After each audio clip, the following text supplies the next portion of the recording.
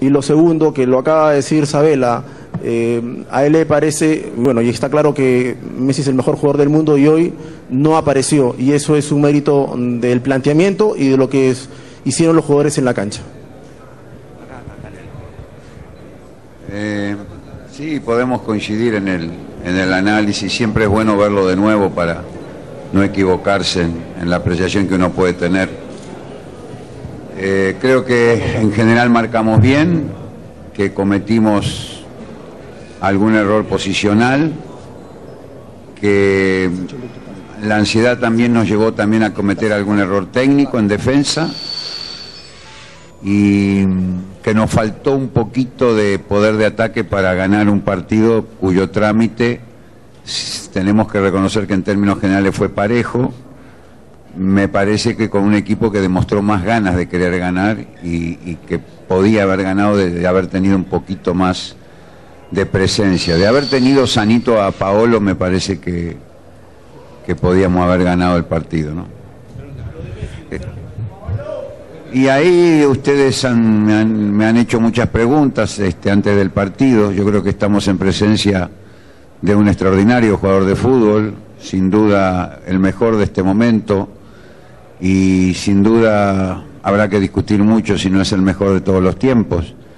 Eh, se especuló mucho con la posibilidad de una marca personal, optamos por marcarlo en zona con una referencia, este, aprovechamos la ausencia de Guerrero para, para poner un jugador más en la mitad de la cancha que le diera un poquito más de, de profundidad a nuestro mediocampo, de que no nos tomara la espalda de dos contención, sino que tuviera uno permanentemente en su referencia y después la zona, ¿no? Si caía por un lado o por el otro, eh, que el contención se sumara a quien lo tomara en primera instancia, esa fue la idea, en los dos tiempos, la tarjeta amarilla de Lobatón nos, nos preocupó, pensamos que estar sobre Messi con tarjeta amarilla no era prudente, por suerte Bayón entró muy bien, cumplió muy bien, seguimos con el mismo plan hasta la entrada de Guerrero, que ahí sí ya pasamos un poco a 4-4 para dejar a Guerrero acompañando a Pizarro, que era el proyecto original también.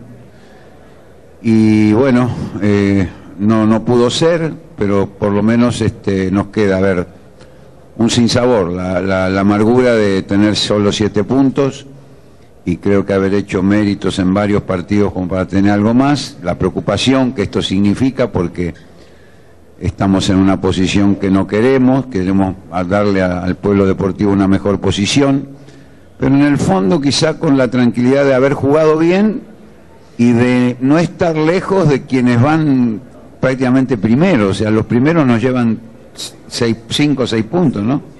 O siete Argentina, pero, pero después los otros nos llevan seis y bueno, en fin, eh, esto es, eh, como lo dijimos desde el primer día, ¿no? Es ganás un partido y te crees que vas a llegar, perdés uno y te crees que estás eliminado.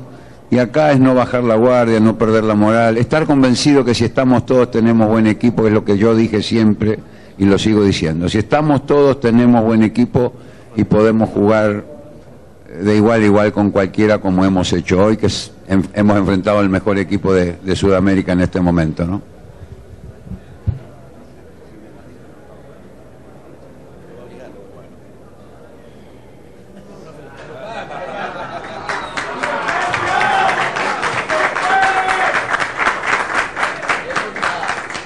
Profesor, eh, Pedro Canelo, del Comercio. Profesor, a esta altura de la eliminatoria y con todo lo que se vio la noche de hoy contra Argentina, ¿es posible decir que es el partido mejor tácticamente planteado de Perú a, a nivel local? Y lo segundo, si hay un plan de trabajo que se pueda ir anunciando para lo que se viene, que es Bolivia y Paraguay.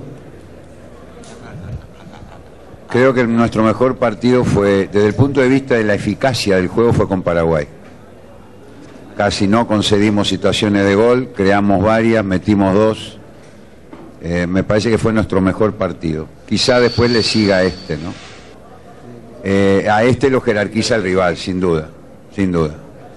En cuanto a lo que viene, sí. Eh, ya hablé con algunos chicos de los que están acá. La semana que viene, martes, miércoles, vamos a hacer un trabajito en Cusco, preparatorio del partido con Bolivia. Vamos, la idea es llevar dos equipos, uno lo vamos a integrar con jugadores del llano y otro lo vamos a integrar con jugadores que juegan en la altura. Vamos a hacer los seguimientos con GPS que queremos hacer y vamos a sacarnos un gusto que hacía mucho tiempo queríamos sacarnos y es qué pasa cuando cuando juegan un equipo que sabe jugar en la altura, que está en la altura, con un equipo del llano, de buenos jugadores del llano.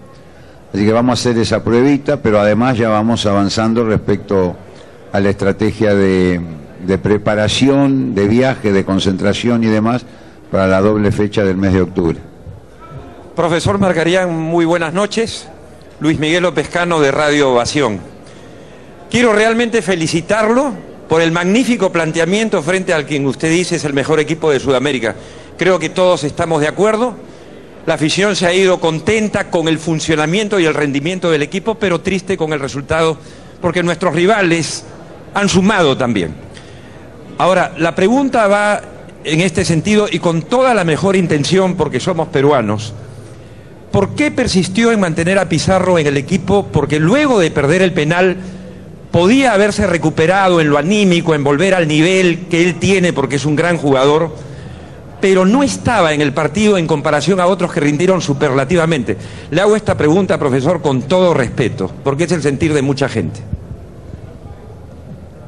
Yo respeto el sentir de esa mucha gente que usted dice.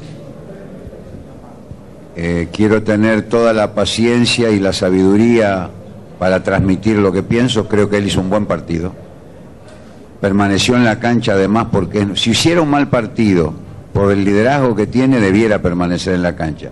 Pero además creo que le tocó jugar solo con dos centrales de muy buena talla, que les dio batalla, que trabajó, que jugó, que recuperó balones, que entregó.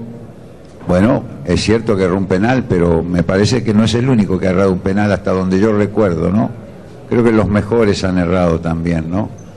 Así que con todo respeto por su opinión y la opinión de esa mucha gente que usted dice que representa, lamentablemente yo tengo que tomar las decisiones y yo creo que él es un excelente futbolista, probablemente el futbolista más laureado peruano en el mundo y que merece todo el respeto, todo, todo el respeto porque deja todo lo que hay que dejar adentro de la cancha.